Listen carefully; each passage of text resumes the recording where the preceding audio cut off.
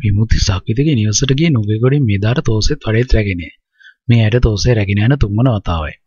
අද අයියා තාතත් කරන කතාබයෙන් හොඳ ප්‍රතිඵලයක් ඇතැයි විමුක්තිද විශ්වාස කළේ නැත.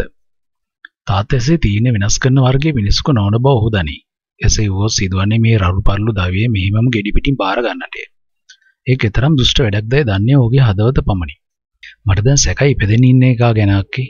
විමුක්ති මේදා අතර උණු තෝසේ පාසලේ දෙමින් විහිළුවට කිව්වේ. මොකෝ සැක? ඉපදෙන්න ඉන්නේ දෙමළ පැටියෙක්ද කියලා. නැත්තම් මෙච්චර තෝසේ ගන්න ආස හිතෙනවේ. මේදා අපූර්වට සිනහස් වුණාය. ඒ ගැන බය වෙන්න එපා. මේ බඩේ ඉන්නේ ඔරිජිනල් සක්විති මොරගොඩ පැටියෙක්. මං විහිළුවට අක්කේ කිව්වේ උණුවෙම කන්න. මාත් බඩගිනි හිටියේ. මල්ලිටත් දාන්න එන්නද? මට බඩගිනි නෑ අක්කේ. එහෙනම් නෙස්කැෆේ එකක් බොමු. මේදා තෝසේ දෙකක් පිගාන්න දමාගෙන විමුක්තිට නෙස්කැෆේ එකකුත් හදාගෙන ආවාය. බයෙන් නේද වයින්නේ? හිතන්න එපා මල්ලි.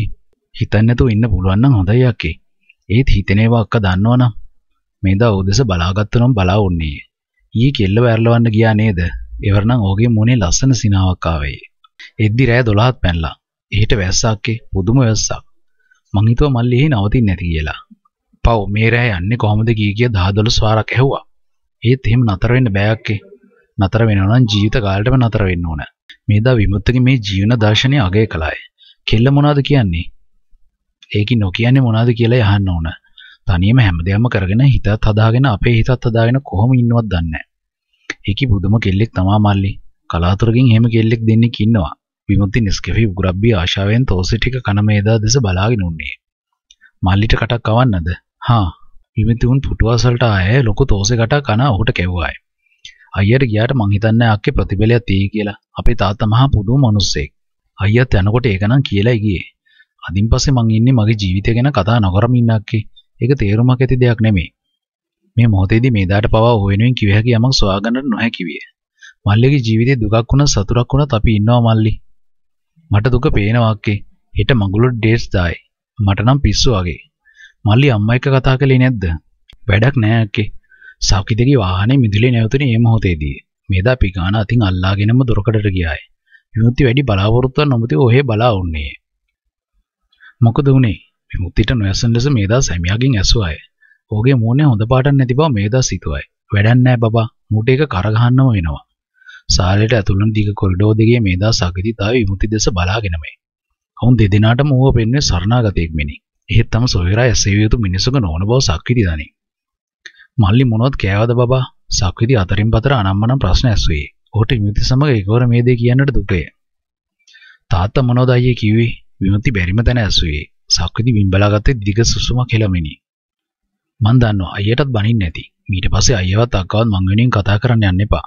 ඒක වැරදි දෙයක් කියලා මට හිතුනේ පස්සේ. අන්තිමට මන් නිසා මෙච්චර සමගින් ඉන්නේ නැන්දම්මල්ලා වේල්ලා මාමලා තරහ වෙනවා. මං ඒකට ආස නැහැ. මීදාගේ ඇස් වලට කඳුළු පිරුණි. ඔහුනේ දෛවයේ පහළම පඩියක බව ඇයදනි. එහෙම කෙනෙකුට බැනවැදී නොහැක. උඹ වෙනුවෙන් කරන්න දෙයක් තියෙනවා නම් මේ අයියයි නෑනයි මැරීගෙන කරනවා. ඒත් කියන දේ එකපාර කියන්න අයියේ මං කොහොමත් පිච්චිලා අල්ල වෙලා ඉවරයි. උඹට උඹේ දෛවයේ බාර ගන්නම වෙනවා. පුළුවන් නම් ඒ ගෑණියව බැඳලා ජීවත් වෙන්න. නැත්තම් බැඳලා ඩිවෝස් කරපන්. කොහොම වුණත් උඹට බඳින්නම වෙනවා. විමුක්තිට විශේෂ දුකක් ආවේ නැත. ඔහු මේ පිළිතුර බලාපොරොත්තු විය. අඩුම ගානේ මට පොඩි නිදහසක්වත්. හ්ම් මට දුකයි උඹ ගැන. ඒත් මල්ලි මොනවා කරන්නද? ඔබට ඕනම නම් ගහපන් ගෙදර කැරැල්ලා. මං හැදිච්ච ගෙදර ප්‍රශ්න ඇති කරන්න ආස නැහැ. ඔව් ඒක පවා. ඔබට ඒක කරන්න බෑ.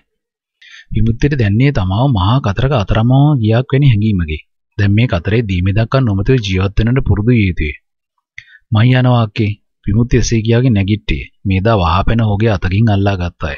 ඉපා දැන්වම ඔයා යන්න එපා. ඉන්න මල්ලි. මට යන්න දෙන්න අක්කේ. මං කිව්වනේ පැටියෝ ඉන්න බත් ටිකක් කාලම යන්. පපුවේ ගින්දර තියාගෙන බත් කන්න බෑ අක්කේ. විමුක්තිට හදිස්සියෙන් මේදාගෙන පව් කියා සිතුනි. ඇයි ඉන්නේ බඩදරුවේ. මේ කල්පයකට පසු උපදින දරුවාය. ඇයි මානසික වශයෙන් තැවීම හොඳ නැත. ඔය යලි පුටුවට බර විය. අම්මට මං කියන දේ තේරෙනවා. ඒ තම වචනයක්වත් හොල්ලන්න බයයි. කමක් නෑ අයියේ. මං වෙනස්ම විනියෙක් වෙනවා. එතකොට මේ සමාජ ජීවත් වෙන්න ලේසි. අපි කැම්පුච්චන්න ඕන අපට ලැබෙන කෙසෙල් වලට හැටියට අයියේ. දෛවයේ කුරු වේදනාව විසින් මේ සුන්දර තරණයව විනාශ කර දමතේ මේදාට පවා පිය සිතුනි. ඕවන් මිනිසු බිහිවන්නේ කලවතරබනේ. මිනිස්කම් මත පිහිටා ජීවත් වෙමින් ආදරය වෙනුවෙන් අප්‍රමාණ කැපකිරීම කරමින් හදවතින් ගන්න හැඟීම් වලින් ජීවත් වෙන එවැනි මිනිසුන් වැඩි කාලයක් ජීවත් වෙන්නේ නැත. සමාජ විසින් ඔවුන්ව යක්කු කරති. සිරසුරාද රාත්‍රියේ වාෂා රත්නපුරට වී උන්නේ පුච්චිමිනි. හිටවගේ විහාය තීන්දුව වන බව ඇනිසගසෙන් දැන උන්නයි. හවස තමාට යන්නට වන්නේ ඔහුගේ මංගල්‍යයට සූදානම් වන නිසාමයි. සෙන්සුරාදා සවස් යාමේ දානෙට බඩු ගෙනෙන ප්‍රියංගදා සමග වාෂා රත්නපුර ටවුන් එකට ගියයි. එක් අතකට නුහුරු කොළඹට වඩා පුරුදු රාළු රත්නපුරේ හොඳයි ඇයට සිතුනි. එහෙත් අද ජීවිතේ එදාට වඩා වෙනස්සේ. ජීවත් වීමට මගක් තිබිය යුතුය. ජීවත් වීම වෙනුවෙන් කුමක් හෝ කළ යුතුය. ඔබ උන්නට ඉන්නේ මේ ලෝකේ නෙමෙයි. ප්‍රියංගදා රත්නපුර සුමාගට්ටකයේදී වර්ෂාට කීවයි. ඇයට හීල්ලිනි. හෙට විමුක්තියගේ වෙඩින් එකට ඩේට් ෆික්ස් වෙනවනේ. ඊට පස්සේ මාත් මොනාරි හිතන්න වෙනවා. ඔබ කියන්නේ එහෙ ඉන්න අමාරුයි කියලාද? එහෙම වෙන්න හේතුවක් නැහැ. අයියා ඇත්තටම හොඳ ගර්ල් කෙනෙක්ව බැඳලා ඒ ගෙදර හිටියනම් මං ඒ කිල්ලගේ වැඩ ටික වුණත් කරලා දෙනවා. අයියාගේ නෝනනේ. ප්‍රියංගදා සිනස්සුනායි. ඇයට ඒවද කරන්නට බැරිකම නැති බව ප්‍රියංගදාත් දැන උනායි. ඒත් මංජු එහෙම නැහැ. වැඩි නොහිතා උඹ ඉන්න බලපන්. වීකෙන්ඩ් එකට ගමේ වරෙන්. මාත් කොළඹ ජොබ් එකකට ගියාම ඉන්නේ වීකෙන්ඩ් එකට ගමේ එන්නනේ. ඕ එහෙම හොඳයි. යුවතියන් දෙදෙනා දානයට අවශ්‍ය බඩු ගත්තේ ආශාවෙනි. පොඩි හාල්මැස්සු කරවල තියෙනවද? කරවල් කඩේ අසල නැවති වාශය ඇසුවයි. මේක කොහොමද? ආ ඒක හොඳයි. මේ හාල්මැස්සු 500කුයි කට්ට 200කුයි දෙන්න. ප්‍රියංගද සිනාසුණයි. අම්මාරි ආසේ හාල්මැස්සු තෙල් දාලා කිරිහොදි එක්ක ගන්න. ලුණු එහෙම යාමින් දාලා අම්මා හාල්මැස්සු බැඳම හදනවා කෙල්ලෙන් මට දැනුත් සුවඳ එනවා. යුවතියට ආය හාල්මැස්සන් බැඳුමේ සුවඳ නොවේ. ඇය ළඟ නැති අම්මාගේ උතුම් සුවඳේ. ඔය මාව දාලා ගිය නිසා තමයි ඔක්කොම. ඇය හිතින් මොමුණා කීවාය. රත්නපුරෙන් ත්‍රිවිලියෙන් නගද්දී වාෂා ප්‍රියංවදා දෙස බැලුවේ යමක් සංගවාගෙන. මේ දක්කට කෝල් එකක් දාලම යන්න කෙල්ලේ. ප්‍රියංවදා ඇයට ගැසුවාය. ඔබ මට බොරු කරනවානේ. මේ දක්කට නෙමෙයිනි ගන්න ඕන. අයියටත් ගන්න ඕන තමයි. ගනින් ගනින් නැත්තම් ගෙදර ගිහිල්ලා හූල්ල හූල්ල ඉඳී. විශේෂ දෙයක්වත් නැලු. ආදරයක්වත් නැලු. ඒත් ඉතින් පිච්චෙනවා. අනේ මන්දා. ප්‍රියංගදා කියන්නේ ඇත්තේ වාෂාර සිදුනි. විශේෂ බැඳීමක් නැත. කතා බහ කරගත් සම්බන්ධතාවයක්ද නැත. තමා වගේ දුප්පත් නෑ නෑ පමණි. නොවනම් මොරගොඩ නොයසරා නාලිනි ඇන්දාගේ අනාථ වූ දුව පමණි. කාත් කවුරුවත් නැතුව තමා රත්නපුරේ සිටීදී ඔවුන් අනුකම්පාවකට තමාව කොළඹ එක්කාගෙන ගියෝයි. ඉපමණකි. එමතම ගන්නට ගිය වාෂා යලි ත්‍රිවේලිය අසරට ආවාය. ඇයි ප්‍රියංවදා පොදුමෙන් ඇසුවයි. ඕන් නෑ කෙල්ලි අපි යන්. ප්‍රියංවදාගේ තුන්නිතම ඇවිලිනි. ඇයි කඩාවැටෙන්නේ තමා කිව්ව දේ නිසාද? මං උඹට ඒක හිතලා කිව්වේ නෑ. ඒත් උඹ කියන්නේ ඇත්ත තමයි. මොඩ බැඳීමකටද මං එහෙම කරන්නේ. මේ කාගේවත් වරදක් නැත. වරද ඇත්තේ අවෝනේ. දඩුවම් ලැබිය යුත්තේදී අවෝනියයි. හරි හරි ඔක්කොම හරි මං කියනකොට කෝල් එක අරගෙන වරින් හොඳ කෙල්ලනේ බැඳීමක් තියන්න ඕනේ කෝල් කරන්න නිකන් කෝල් එකක් දීලා වරින් ඵලයන් වාෂා යලි දුරකථන කුඩියට ගිය ඇඟිලි තුඩු වලින් නල්ලත මිරිකමනි. ඇයි මුලින්ම ගත්තේ මේ දාටේ? අක්කේ දෙයේනේ කෙල්ලේ. මම මේ ඔබව මතක් කළා විතරයි. බොරු. මාව මතකවත් නැහැ. කියපන් මම බොරු කියලා තින්නේ කවදද කියලා? අම්මෝ යන තරහ. මං විහිළුවට කිව්වේ ඔය දවස්වල ඔච්චර තරහා ගන්න එපා. හොඳ නැහැ. හොඳ නැති ඒවා නම් තමයි කෙල්ලේ මේ දවස්වල වෙන්නේ. වයිෂාගේ පපුව ඇවිලිනේ. ඒ කියන්නේ? නෑ මං නිකන් කිව්වේ. අක්කා මට මොන හරි අංගනවා. ඊයේ සක්විති අයියා කියන්නේ තාත් එක්ක කතා කරන්න. මං කියන වෙච්ච දේ මාමා අයියට බනින්නේ නැති නේද? පව් පොඩි එකා. ඌ හරි දුකින් ඉන්නේ. වර්ෂා කතා කළේ නැත. ඇගේ ඌර සිරවිය. හෙට අක්කා හේ යනවා නේද? නොයා බෑනේ රත්තරන්. ඒකනේ ඒක අතකට අපි කොහොම හිතුවත් මංජුයි අයියයි හොඳට පවුල් ගන්නත් පුළුවන් අක්කේ. දෙවෙනි හිතට එරෙහිව මෙවැනි ප්‍රකාශන කරන්නේ කෙසේද? කයි කයි හොඳට පවුල් කයි. ඒ හැමදේම සිද්ධ වෙනව නම් මොනවා කරන්නද නේද අකේ? අයියත් පව්. ඉතින් වේදනාව විඳ විඳ ඉන්නේ. බස්සන්න ආවනේ. හ්ම් මම බයේ ඇරියේ. මහා වැස්සක්කේ.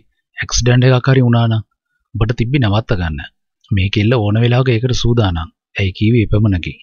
කොහෙද රත්තරන් ඉන්නේ? මේ රත්නපුරේ ටවුන් එකේ අක්කේ ඉන්නේ. මං කිව්වේ පන්සලට හිල්ල දෙනවා කියලා. බඩු ටිකක් ගන්නවා. ඔබ කොළඹාව මටත් පොඩි උදව්වක් කරනවද? මොකද්ද? අපි එකතු වෙලා මේ ළඟ පන්සලට හීලක් දාහදලා දෙමුද? මට හරි ආසයි. අනේ ඒක මොකද්ද? මාත් අක්කට කියන්න හිටියේ. මං එන්න කලින් සමන් දේවාලයටත් ගිහින් එන්නම්කෝ. ඔය ගමන් කොල්ලරට ටිකක් කතා කරපන්. පව් හරි දුකින් ඉන්නේ. මට බය මේක මොන හරි කරගනී කියලා. අයියා එච්චර බොනද නෑ අක්කේ. දුක් විඳිනකොට මිනිස්සු අවුල් වෙනවා කෙල්ලේ. ඒක නම් ඇත්ත. මේ මාත් අවුල් වෙලා ඉන්නේ. ඇයිට එසේ කියනට සිතුන් නමුද කීවේ නැත. මේ දාට කතා කළ පසු විමුක්තිට කතා කිරීමේ ඕනකම ඇයට තවත් වැඩි වේ. වෙනකන් නිසා නොව. ඔහු දුක් විඳින්මින් ඇතයි මේ දා කිව් නිසායි.